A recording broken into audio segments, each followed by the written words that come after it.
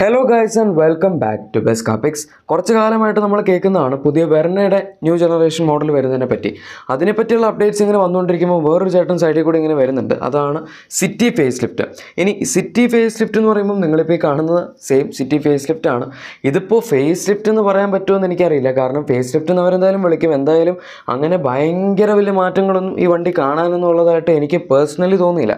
എന്തായാലും നമുക്ക് ഇതിന്റെ അകത്ത് വന്നിരിക്കുന്ന മാറ്റങ്ങൾ എന്തൊക്കെയാണെന്ന് ഡീറ്റെയിൽ ആയിട്ട് നോക്കാം. പക്ഷേ വെർണയിൽ വരാൻ പോകുന്ന ഒരു മെയിൻ ജനറേഷൻ അപ്ഡേറ്റ് ആണ്. ഇതിന്റെ അകത്ത് ചെറിയൊരു മിനിക്കോണി പോലത്തെ ഒരു സാധനം. ഇപ്പോൾ രണ്ടായിരത്തി പതിനാലിൽ നമുക്ക് ഫോർത്ത് ജൻ സിറ്റി വന്നതിന്റെ ഒരു അപ്ഡേറ്റ് രണ്ടായിരത്തി പതിനേഴിൽ വന്നായിരുന്നു ഒരു മൈനർ ഫേസ് ലിഫ്റ്റ് ആയിട്ട്. അതുപോലൊക്കെ തന്നെ ഉള്ളൂ ഇത്. ഇനി ഡിസൈനിലേക്ക് വരികയാണെങ്കിൽ ഈ വാഹനത്തിന്റെ ഫ്രണ്ട് പ്രൊഫൈലിൽ വേറെ വലിയ മാറ്റങ്ങളൊന്നും വന്നിട്ടില്ല. ഗ്രില്ലിന്റെ ആ ഒരു പോർഷൻ അവിടെ കുറച്ച് വ്യത്യാസങ്ങൾ വന്നിട്ടുണ്ട്. ആ ക്രോം എലമെന്റ് കുറച്ചുകൂടെ ചെറുതാക്കിയിട്ടുണ്ട്. മറ്റേ പഴയ സിറ്റിയിൽ കുറച്ചുകൂടെ വലുതായിരുന്നു. മാത്രമല്ല ഇതിന്റെ അകത്ത് ഒരു ഹണി കോം പാറ്റേൺ ഉള്ള ഒരു ഗ്രിൽ ഫിനിഷാണ് ഇതിന്റെ അകത്ത് കൊടുത്തിരിക്കുന്നത്. ടോപ്പ് പോർഷന് മാത്രമേ ക്രോമിൽ വരുന്നുള്ളൂ. താഴത്തെ പോർഷൻ നമുക്ക് ബ്ലാക്കിലാണ് വരുന്നത്. പക്ഷേ ടോപ്പ് പോർഷനിൽ വരുന്ന ക്രോം ആണെങ്കിലും ഫുൾ ഇങ്ങനെ ആ ലൈറ്റ്സ് ആയിട്ട് കവർ ചെയ്ത് അങ്ങനെ മൊത്തത്തിലൊരു ഫുൾ ബാർ പോലെ അതായത് ഒരു എൽ ഇ ഡി ബാർ പോലെ പോകുന്ന രീതിയിലാണ് വരുന്നത്. അതിന്റെ അകത്ത് വേറെ എൽ ഇ ഡി ഒന്നും ഇല്ല കേട്ടോ. ആ ഹെഡ്ലൈൻസിന്റെ തൊട്ട് മുകളിൽ വരുന്ന സ്ഥലത്ത് മാത്രമേ എൽ ഇ ഡി ആയിട്ട് കിട്ടുന്നുള്ളൂ. പിന്നെ എന്റെ താഴത്ത് നമുക്ക് ഡി ആർ എൽസ് ഒക്കെ അവൈലബിൾ ആണ്. സൈറ്റ് ഇൻഡിക്കേറ്റേഴ്സ് ഉണ്ട്. ഡി ആർ എൽസ് അല്ല ഐ മീൻ ഇതിന്റെ ഹെഡ് ലാംപ്സ് അവൈലബിൾ ആണ്. അതൊക്കെ ഓൾ എൽ ഇ ഡി ആണ്. ഇതൊക്കെ ഇതിനു മുമ്പ് ഉണ്ടായിരുന്ന ഫീച്ചേഴ്സ് തന്നെയാണ്. അല്ലാതെ വേറെ മാറ്റങ്ങൾ വന്ന ഫീച്ചേഴ്സ് ഒന്നും അല്ല. ഇനി ബമ്പറിലേക്ക് വരികയാണെങ്കിൽ ഇവിടെ ബമ്പറിന്റെ ഡിസൈനിൽ ഒരു മാറ്റം കൊണ്ടുവന്നിട്ടുണ്ട്. ഫോഗ് ലാംപ്സിന്റെ ഒരു ഹൗസിംഗ് ആണെങ്കിലും ഫോഗ് ലാംപ്സ് ഒക്കെ ഓൾ എൽ ഇ ഡി തന്നെയാണ്. അത് മാത്രമല്ല അതിന്റെ ഒരു താഴത്തെ പോർഷൻ എടുക്കുകയാണെങ്കിൽ പോലും ചെറിയ ചെറിയ കുറച്ച് മാറ്റങ്ങളൊക്കെ അവിടെ നോക്കുകയാണെങ്കിലും കാണാൻ സാധിക്കും. പക്ഷേ again ഞാൻ പറയുന്നത് ഇതങ്ങനെ ഭയങ്കര വലിയ രീതിയിലുള്ളൊരു മാറ്റമൊന്നും അല്ല നമുക്ക് പെട്ടെന്ന് നോക്കിക്കഴിഞ്ഞാൽ ഡിഫറൻഷ്യേറ്റ് നിർത്താൻ പറ്റുന്ന രീതിയിലുള്ള സംഭവങ്ങളൊന്നും ഇല്ല സൈഡ് പ്രൊഫൈലിലേക്ക് വരികയാണെങ്കിൽ ഇവിടെ അങ്ങനെ വലിയ മാറ്റങ്ങളൊന്നും തന്നെ ഇല്ല എന്ന് പറയാം. ആകെ മാറ്റം വന്നിരിക്കുന്ന അലോയ്സിന്റെ ഡിസൈനിലാണ് സിക്സ്റ്റീൻ ഇഞ്ച് അലോയ് വീൽസ് ആണ്. നേരത്തെയും സിറ്റിയിൽ ഉണ്ടായിരുന്ന അവർ അറ്റ്ലീസ്റ്റ് ആ ക്രോസ് സെക്ഷൻ ഒന്ന് കൂട്ടിയാൽ മതിയായിരുന്നു. ഈ സെഗ്മെന്റിൽ ഏറ്റവും തിന്നായിട്ടുള്ള ടയേഴ്സ് വരുന്ന സിറ്റിയിലാണ് ബേസ് മോഡലിലൊക്കെ അവർ വൺ സെവന്റി ഫൈവ് ആണ് ക്രോസ് സെക്ഷൻ കൊടുത്തിരുന്നത്. ടോപ്പ് മോഡലിലേക്ക് വരുമ്പോൾ അറ്റ്ലീസ്റ്റ് വൺ എയ്റ്റി ഫൈവ് എങ്കിലും കൊടുക്കുമായിരുന്നു. പക്ഷേ മറ്റേ വണ്ടികളൊക്കെ നോക്കുകയാണെങ്കിൽ അറ്റ്ലീസ്റ്റ് വൺ നയന്റി ഫൈവ് എങ്കിലും മറ്റുള്ള കമ്പനികൾ കൊടുക്കുന്നുണ്ട്. ഇവരൊന്നും കൊടുക്കുന്നില്ല. ഏറ്റവും ചെറിയ ടയർസാണ് കൊടുക്കുന്നത്. ഈ വണ്ടിയിലെങ്കിലും one ninety five section tyres കൊടുത്താൽ മതിയായിരുന്നു. ഇപ്പോൾ ഉള്ള വണ്ടിയിൽ വരുന്ന എനിക്ക് തോന്നുന്നു R sixteen one eighty five ആണെന്ന്.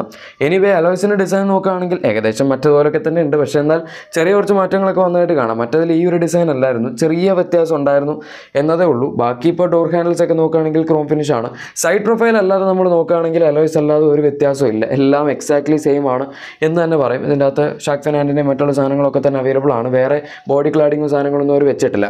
ഇനി അടുത്ത സാധനം റിയ പ്രൊഫൈൽ ഇവിടെ ഒറ്റ നോട്ടത്തിൽ ഒരു വ്യത്യാസവും ഇല്ല എന്ന് തന്നെ പറയാം. സെയിം രണ്ടായിരത്തി പതിനേഴ് സിറ്റി പോലെ തന്നെ. അതിന്റെയും ബാക്കിൽ അവർ വലിയ വ്യത്യാസമൊന്നും വരുത്തിയിട്ടില്ലായിരുന്നു. ആകെ റിഫ്ലക്ടറൊക്കെ മാറ്റിയതുണ്ടായിരുന്നുള്ളൂ ഈ വണ്ടിയുടെ അതുപോലൊക്കെ തന്നെയാണ്. റിഫ്ലക്ടറിന്റെ പൊസിഷനും അതുപോലെ തന്നെ ബമ്പറിന്റെ ഡിസൈനും ചെറുതായിട്ടൊന്ന് ട്വീക്ക് ചെയ്തെന്ന് പറയാം.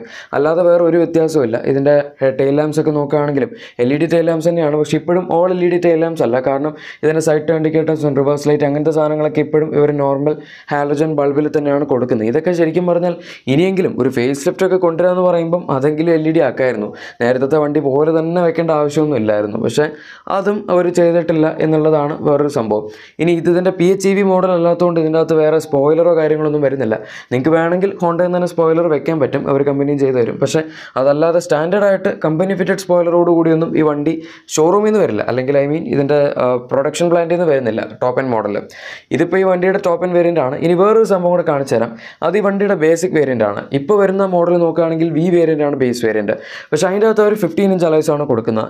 ഈ വണ്ടിയിൽ ഇപ്പോൾ ഈ അറ്റ്ലീസ്റ്റ് ഈ വേരിയന്റ് കണ്ടിട്ട് ഇത് ബേസ് മോഡലാണെന്ന് തോന്നുന്നുണ്ട്. പക്ഷേ എന്നാൽ ഇതിന്റെ അലോയ്സ് കണ്ടിട്ട് ബേസ് മോഡലാണെന്ന് തോന്നുന്നില്ല. കാരണം ഇത് സിക്സ്റ്റീൻ ഇഞ്ച് അലോയ്സ് ആണ്. കാരണം അതിന്റെ നേരത്തെ ആ ഒരു ഡിസൈൻ നോക്കുകയാണെങ്കിൽ സെയിം ആണ്. ഇതിന് ആ ഒരു ഡയമണ്ട് കട്ട് ഫിനിഷ് ഒന്നും അവർ കൊടുത്തിട്ടില്ല എന്നുള്ളൊരു വ്യത്യാസം മാത്രമേ ഉള്ളൂ. ഈ വേരിയന്റിൽ അതായത് ഈ ഫേസ് ലിഫ്റ്റിലെങ്കിലും ഒരു base model sixteen inch alloys കൊടുക്കുകയായിരുന്നെങ്കിൽ നല്ലതായിരുന്നു. ഈ സെഗ്മെന്റ് നോക്കുകയാണെങ്കിൽ വണ്ടികളിൽ ഒന്നും തന്നെ ബേസ് മോഡലിൽ അങ്ങനെ ടയർ സൈസ് ഒന്നും കുറവ് വരുന്നില്ല. ആകെ സിറ്റിയിൽ മാത്രമാണ് ഏറ്റവും thin tyres base model actually fifteen inch wheels ആണെന്നുള്ളത് പോട്ടെ. One seventy five section tyres ആണ് വരുന്നത്. അതൊക്കെ മാറ്റിയിരുന്നെങ്കിൽ നല്ലതായിരുന്നു. ഇതിപ്പോൾ കണ്ടിട്ട് എനിക്ക് സിക്സ്റ്റീൻ ഇഞ്ച് അലോയ്സ് പോലെ തന്നെ തോന്നുന്നുണ്ട്. പിന്നെ ഇതിന്റെ ഡോർ ഹാൻഡിൽസ് ഒക്കെ ആണെങ്കിലും ക്രോം ഫിനിഷിലൊക്കെ തന്നെയാണ് ഇതിന്റെ അകത്ത് അവർ കൊടുത്തിരിക്കുന്നത്. പിന്നെ ബേസ് മോഡൽ ആയതുകൊണ്ട് ഫ്രണ്ടിൽ നമുക്ക് ഹാലജൻ ലൈറ്റ്സ് ആണ് വരുന്നത്. പക്ഷേ പ്രൊജക്ടർ സെറ്റപ്പിലാണ് വരുന്നത്. ഇത് ബേസ് മോഡൽ പോലെ ഉണ്ട്. അതുകൊണ്ടാണ് ഞാൻ കാണിച്ചത്. ഇനി ഇന്റീരിയറിലേക്ക് വരികയാണെങ്കിൽ ഇവിടെയും പറയത്തക്ക വലിയ മാറ്റങ്ങളൊന്നും വന്നിട്ടില്ല എന്ന് തന്നെ പറയാം. അതിപ്പോൾ നമ്മൾ സ്റ്റിയറിംഗ് വീൽ നോക്കുകയാണെങ്കിലും അല്ലെങ്കിൽ അതിന്റെ ഒരു ഇൻസ്ട്രുമെന്റ് ലിസ്റ്റ് നോക്കുകയാണെങ്കിലും ഇപ്പോഴും ഇത് സെമി ഡിജിറ്റൽ ഇൻസ്ട്രുമെന്റ് ലിസ്റ്റ് ആണ്. നമുക്ക് ബാക്കി സാധനങ്ങൾ ടാക്കോമീറ്റർ പിന്നെ വണ്ടിയുടെ റിലേറ്റഡ് ആയിട്ടുള്ള ഡീറ്റെയിൽസ് ഇതൊക്കെ ഡിജിറ്റലായിട്ട് അറിയാൻ പറ്റും. പക്ഷേ സ്പീഡോ സ്പീഡോമീറ്റർ റൈറ്റ് സൈഡിൽ നമുക്ക് അനലോഗ് ആയിട്ട് തന്നെയാണ് കൊടുത്തിരിക്കുന്നത്. ബാക്കി എല്ലാ സാധനങ്ങളും ഇപ്പോൾ ഡാഷ്ബോർഡിന്റെ ലേഔട്ട് ആണെങ്കിലും ഡിസൈൻ ആണെങ്കിലും എല്ലാം സെയിം ആണ്. ഓട്ടോമാറ്റിക് എ സിയുടെ കൺട്രോൾ പാനൽ അതുപോലെ എ സി വിൻസിന്റെ ഡിസൈൻ എല്ലാം സെയിം ആണ്. ബേസിക്കലി വണ്ടിയുടെ അകത്തുനിന്ന് അവരൊന്നും മാറ്റിയിട്ടില്ല എന്ന് തന്നെ പറയാം. ഇൻഫോട്ടീം സിസ്റ്റം ആണെങ്കിൽ പോലും എയ്റ്റ് ഇഞ്ചസിന് ഇൻഫോട്ടീം സിസ്റ്റം ആണ് ഇതിനകത്ത് നേരത്തെ വന്നിരുന്നത്. ഏകദേശം അതുപോലൊക്കെ തന്നെയാണ് ഇതിന്റെ ഹൗസിംഗ് കൊടുത്തിരിക്കുന്നത്. ചിലപ്പോൾ സൈസിൽ വ്യത്യാസം ഉണ്ടാവില്ലായിരിക്കും. At least ഇതിനകത്തെങ്കിലും wireless Android Auto Apple CarPlay ഒക്കെ കൊണ്ടുവന്നാൽ മതിയായിരുന്നു. കാരണം ഇപ്പോൾ ഹോണ്ടയുടെ വരുന്ന ഇൻഫോട്ടീം സിസ്റ്റം നമ്മൾ നോക്കുകയാണെങ്കിൽ അങ്ങനെ ഭയങ്കര ഗംഭീര ഇൻഫോട്ടീം സിസ്റ്റം ആണെന്ന് പറയാൻ പറ്റില്ല. കാരണം അതിന്റെ ഗ്രാഫിക്സ് ആണെങ്കിലും അതുപോലെ അതിന്റെ ഒരു ടച്ച് റെസ്പോൺസ് ആണെങ്കിലും ഒന്നും ഗംഭീരമൊന്നുമല്ല. നമുക്ക് ഈ സെഗ്മെന്റിൽ വേറെ നല്ല ഇൻഫോടൈം സിസ്റ്റംസ് അവൈലബിൾ ആണ്. അപ്പോൾ ഇത് അവർ കുറച്ചെങ്കിലും അതിന്റെ യു ഐ ഒക്കെ ഒന്ന് ഇമ്പ്രൂവ് ചെയ്താൽ മതിയായിരുന്നു. പിന്നെ എനിക്ക് മനസ്സിലാവാത്ത എന്താണെന്ന് വെച്ചാൽ ഇവരെന്തിനാണ് ഇന്നത്തെ കാലത്ത് രണ്ടായിരത്തി ഇരുപത്തി മൂന്നിലും ഡാഷ് ബോർഡിൽ ഉടൻ ട്രിമൊക്കെ കൊടുക്കുന്നതെന്ന്? ഇതൊക്കെ ഒരു പത്ത് വർഷം മുമ്പ് കമ്പനികൾ കൊടുത്തുകൊണ്ടിരുന്ന സാധനമാണ്.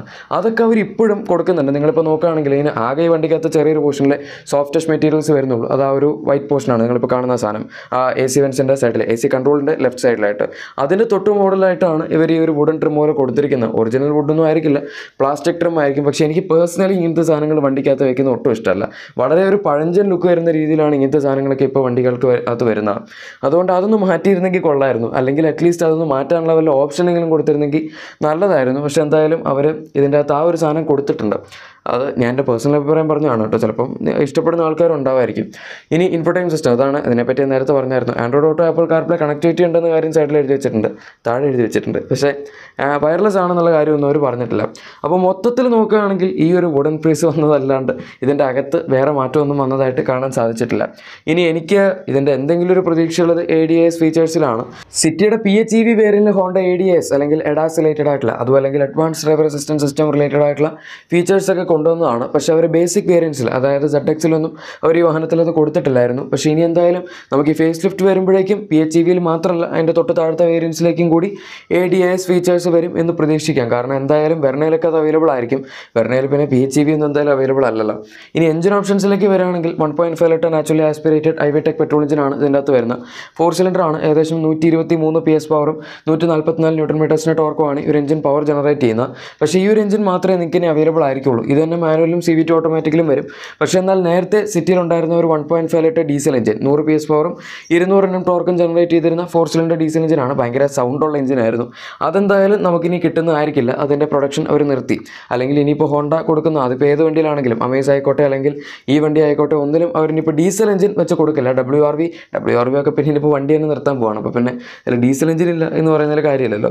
എനിവേ ഇതാണിപ്പോൾ പുതിയ ഹോണ്ട സിറ്റിയുടെ ഭാഗത്തു നിന്ന് നമുക്ക് കിട്ടിയിരിക്കുന്ന അപ്ഡേറ്റ് ഈ വണ്ടി ഈ മാസം തന്നെ ലോഞ്ച് ചെയ്യും. ലോഞ്ച് ഒന്നും ഇനിയിപ്പോൾ അധികം വൈകാനില്ല. ഇത് ലീക്ക് ആയതാണ് കേട്ടോ. ഒഫീഷ്യലായിട്ട് വന്ന സാധനങ്ങളല്ല. പക്ഷേ ഇത് കണ്ടാൽ തന്നെ മനസ്സിലായി എന്തൊക്കെയുണ്ടെന്ന്. എനിവേ ഗായ്സ് നമ്മുടെ ഇന്നത്തെ വീഡിയോ എല്ലാവർക്കും ഇഷ്ടപ്പെട്ടു എന്ന് വിചാരിക്കുന്നു. വീഡിയോ ഇഷ്ടപ്പെട്ടെങ്കിൽ ലൈക്ക് ചെയ്യുക. ഇതുപോലുള്ള വാഹനങ്ങളുടെ കൂടുതൽ അപ്ഡേറ്റ്സും ഡീറ്റെയിൽസും എല്ലാം നിങ്ങൾക്ക് ആദ്യം ലഭിക്കാൻ താല്പര്യമാണെങ്കിൽ മറക്കാതെ തന്നെ ചാനൽ സബ്സ്ക്രൈബ് ചെയ്യുക. കൂടെ സൈഡിൽ കൊടുത്തിരിക്കുന്ന ആ ബെൽ ബട്ടനോട് പ്രസ് ചെയ്ത് അത് ഓൾ നോട്ടിഫിക്കേഷൻസ് ആക്കി വെക്കുകയാണെങ്കിൽ ഞങ്ങളുടെ അപ്കമിങ് വീഡിയോസിന്റെ അപ്ഡേറ്റ്സ് എല്ലാം നോട്ടിഫിക്കേഷൻസ് ആയിട്ട് നിങ്ങൾക്ക് തന്നെ ആദ്യം ലഭിക്കുന്നതായിരിക്കും. Thank for watching my video